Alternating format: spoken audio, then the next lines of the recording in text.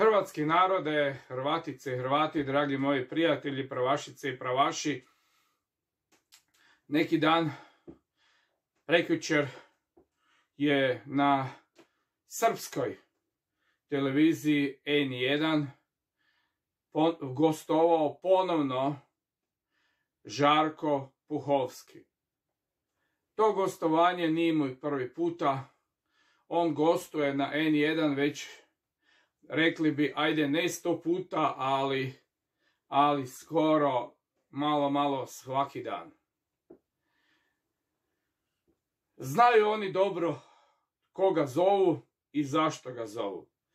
Zovu ga zato što je protiv Hrvatske države, Hrvatske domovine, domovinskog rata, a i Hrvatske kune.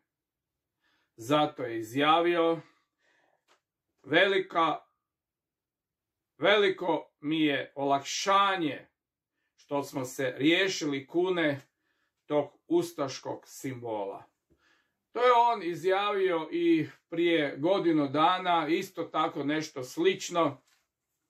I onda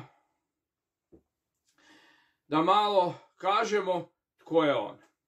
Znači, on stalno gostuje na srpskoj N1 televiziji u Hrvatskoj.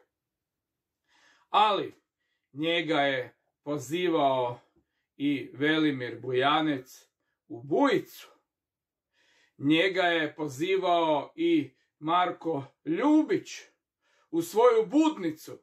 Znači, emisije koje bi trebali biti desno, a zovu zovu bolševika mrzitelja Hrvatske države. Zato ja stalno kažem da je bujica, a i budnica, da je to sve prevara. Da je to sve prevara. Da udbaš, udbaše stvaraju domoljube. Da vas mame na domoljubljem u svojim misijama, a onda pred izbore udbaše predstavljaju domoljubima i traže da glasate za njih.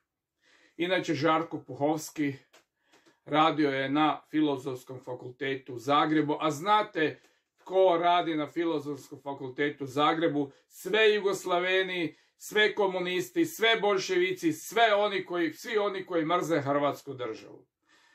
Postavio sam vam na početku fotografiju, dvije fotografije gdje se vidi kako Žarko Puhovski za vrijeme Balvan revolucije, za vrijeme početka agresije na Hrvatsku druži se sa Raškovićem, sa Boljkovcem i sa Udbašem, Kilerom koji u zatvoru Perkovićem.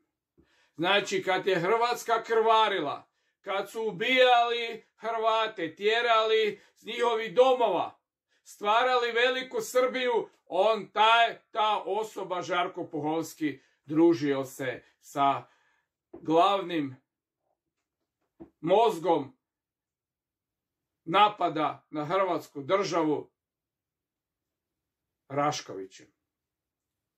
Također sudjelovao je on u napadu na ljude koji su sudjelovali u Hrvatskom proljeću i čak je bio svjedok na suđenju protiv njih. I mnogi su zbog njega završili u zatvoru. Osnovao je 90. godina udruženje za jugoslavensku demokratsku inicijativu. To je bila ekstremno lijeva politička organizacija za očuvanje Jugoslavije. Tvrdi i tvrdio je da je oluja etničko čišćenje, ali nije govorio o etničkom čišćenju kada su protjerivali Hrvate iz Knina, iz Vukovara. Ne, Onda kad su stvarali veliku Srbiju, zapadne Slavonije, ne, onda ne, to ne spominje. Svjedok je bio u Hagu protiv generala Gotovine i Markača. Vojnu operaciju Luja, tako mu se zove knjiga, koja govori o velikom broju ubijenih Srba, žrtava. Htio je prikazati Hrvatska da je genocidna i da je Oluja bila zločinačka akcija.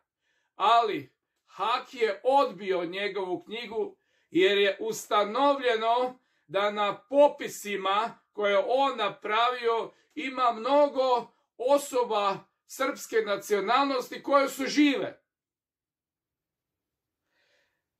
Inače, on je židov, ako niste znali, i mrzi Hrvatsku državu.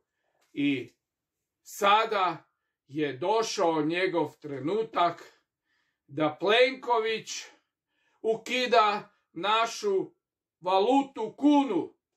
Ukidanjem kune gubimo monetarni suverenitet. A Puhovski je sretan jer dijete komunista Andrej Plenković ukida kunu, ustašku kunu, kao što kaže Žarko Puhovski. Ljudi, kada vidite Žarka Puhovskog da gostuje na N1 televiziji ili možda ponovno na bujici, gasite televizore, nemojte gledati smeće. A ti isti, kao Žarko Puhovski, i mnogi takvi kao Žarko Puhovski, žive ovi, svi ovih godina Hrvatske na račun Hrvatske. A branitelji žive od tisuću kuna i nemaju nikakva prava ako nisu bili ranjeni. Branitelji da stvare socijalnu mirovinu, da ne mogu te mirovine ne proživjeti, moraju iti u bolnice, praviti se da su imaju PTSP, pa onda zdravi dođu u bolnicu, a iz bolnice odu bolesni i ovisni o tabletama što su morali piti u bolnici. Zar je to odnos Hrvatske države prema braniteljima? Umjesto da se braniteljima da pomoć, da se da dostojanstveno žive, oni ih truju i ubijaju. A dan danas Hrvatska država plaća partizanima mirovine, a partizani više ne postoje. Rođeni 57. Rođeni 55. Rođeni 60. godina, oni primaju partizanske mirovine, vjerovatno 60. godina su borili se na strani partizana, na strani stvaranja Jugoslavije. Takvi su nagrađeni danas od Hrvatske, a Hrvati progonjeni. Hrvatski narode, Hrvatice i Hrvati, gasite televizore kad vidite smeće, smeće Žarko, Žarka Puhovskog.